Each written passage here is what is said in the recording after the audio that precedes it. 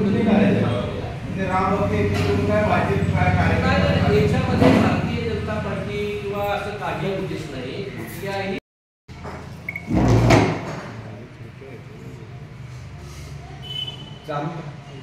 बुधनगड तालुक्यातील सर्व पत्रकारांचं प्रथमतः या आजच्या पत्रकार बैठकीमध्ये मी स्वागत करतो. उद्देश या आपल्या सर्वांना सांगावा आणि कार्यक्रमाचं नियोजन तुम्हा सर्वांना सांगावं यासाठी तुम्हा सर्वांना अगदी शॉर्ट नोटीसमध्ये बोलवलं आपण सर्वजण उपस्थित राहिला त्याबद्दल तुमचे सर्वांचे आभार. आपला सर्वांना माहिती आहे की उद्याच्या बावीस तारखेला अयोध्येमध्ये राम मंदिराचा लोकार्पण सोहळा आणि या राम मंदिरामध्ये रामललांची प्राणप्रतिष्ठापना होणार आहे. आणि प्राणप्रतिष्ठापना आणि हा राम मंदिराचा लोकार्पण सोहळा हा देशभरामध्ये नव्हे तर साऱ्या जगभरामध्ये उत्साहाच्या स्वरूपामध्ये सुरू होतोय.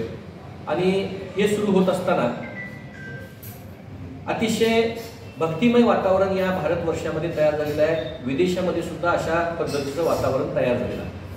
खरं तर हे सगळं वातावरण होत असताना गेल्या पाचशे एक वर्षापूर्वीपासून या राम ही सुद्धा प्रतिमा वेगवेगळ्या माध्यमातून प्रत्येक घराघरामध्ये पोच झालेली आहे.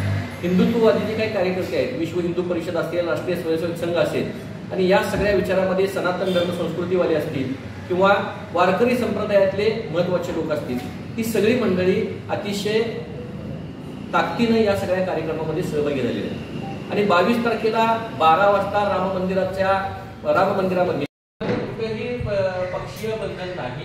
सर्व पक्षीय लोक सर्व